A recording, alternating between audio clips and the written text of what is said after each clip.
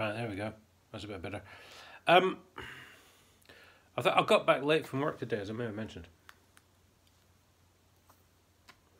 So I really didn't have time to take anything out of the freezer to defrost for dinner. So I thought I'll go around to Chinese. Nice Chinese, been there several times. Always very good food. Um, and I got round the corner and there's like about five people waiting outside. And I'm thinking, oh no, they're queuing.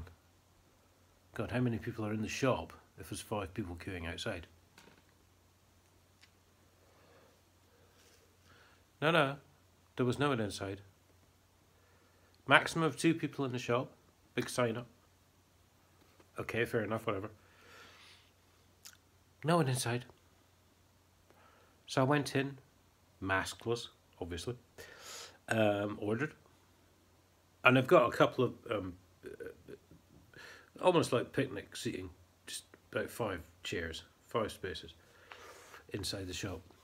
So I just sat down and waited for my order. Um, someone else came in, mask on, made his order. I'll just wait outside, he says. What? What in the fucking world is wrong with you people? You brainwashed fucking Baba sheeple. They're actually willingly waiting outside, despite the fact there's no sign that said, well, not that I saw anyway, that says you must wait outside once you've made your order. I don't know. I mean, I sat down. No one asked me to fucking move. What the fuck is wrong with you? Wake up! Jesus fucking Christ!